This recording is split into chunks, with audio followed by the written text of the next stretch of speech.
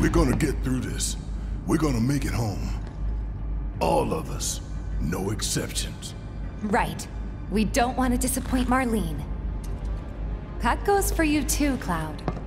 Right? You better give her a big old smile this time. If the price is right.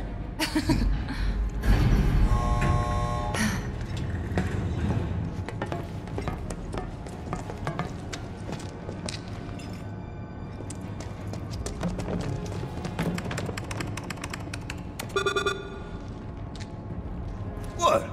Open it already. It's locked down. Is there any way we can get it open? Yeah, from that room over there.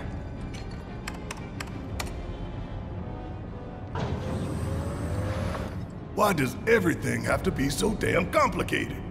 You know, the faulty equipment storeroom's that way too. Do you think we'll find the components we diverted there? It's like a treasure vault. Woo! I like the sound of that. So how do we do this? It's simple, really. We move the levers at the same time. Got these ones. I'll take left, which just leaves right, soldier boy.